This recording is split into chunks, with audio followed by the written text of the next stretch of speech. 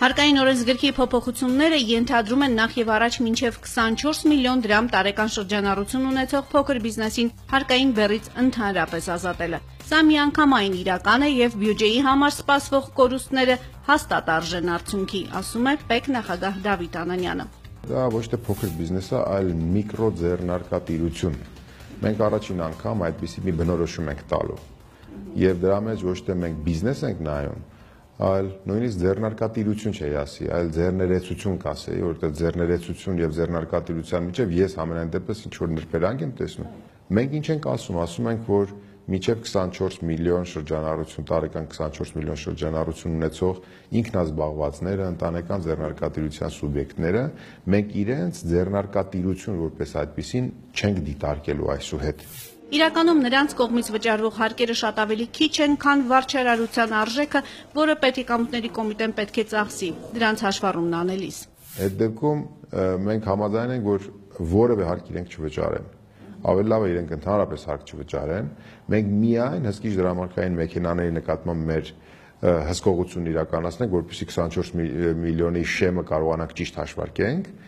եւ ընդհանուր որևէ վարչարություն իրենց հանդեպ չունենանք։ Հարկային փոփոխությունները կարճաժամկետ հատվածում ենթադրում են նաև շահութահարկի եւ եկամտահարկի դրույքաչափերի նվազեցում եւ ակցիզային հարկատեսակի դրույքաչափի որոշակի ավելացում։ Հաջորդ քայլով ՊԵԿ-ը խնդիր է դրել պարզեցնել հարկային օրենսգիրքն ընդհանրապես, որ եւ հեշտ կիրառվի եւ դյուրին ընկալվի։ Իսկ ավելի ուշ 2020-ի հունվարից օրինակ ՊԵԿ-ը նախատեսում է Հայաստանի Հանրապետության բոլոր քաղաքացիներին դարձնել հարկ վճարող։ Դավիթ Անանյանը պարզաբանում է թե ինչու եւ ամենակարևորը ինչպես։ 18-ից 65 տարեկան բոլորի, ովքեր որ ունեն ՀՑՀ հանրային ծառայությունների համարանիշ կամ այն ID մեր քարտերը որ ունեն, ով ունի, բոլորի համար պետք է պատրաստվի հայտարարագիր։ Դա կտա համատարած համընդհանուր եկամուտների հայտարարագրում։ Մի շատ կարևոր բան էլ կա այնտեղ, որ մենք այս մեր ID-ները, ID քարտերը սարքելու ենք կուտակ կուտակիչ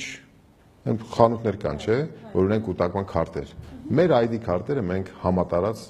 պետությունը հայտարարել որ ժողովուրդ սա ձեր կուտակիչ քարտերն է։ Որտեղ որ կգնաք առևտուր կանեք, մենք կբաժանենք բոլորին այդ ID քարտը կարդալու հնարավորություն կտանք, այսինքն հսկիչ դրամարկային մեքենան կիդենտիֆիկացնի գնորդին, երբ որ դուք կամ ես գնանք մեր հացը առնելու, օրվա հացը չէ,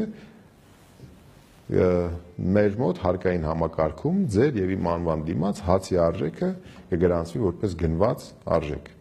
Հետո տարվա ընթացքում ինչքան որ մենք գնումներ կկատարենք, դրա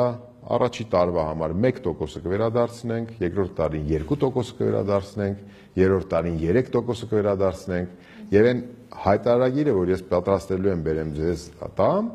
դուք ունե տեսնելու եք, որ այդ հայտարարագրում ձեր եկամուտների 23%-ը ընդհանուր համընդհանուր ուզում եմ ձեզանից տանեմ, բայց ձեր կատարված գնումների 1%-ը վերադարձնում ձեզ։ Այս այա լինելու ընդհանուր գաղափարը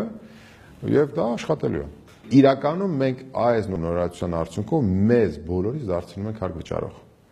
Եվ ոչ մենակ հարկ վճարող, այլ նաև բոլորս ազգովի դառնում ենք հսկիչ դրամարկային մեքենայի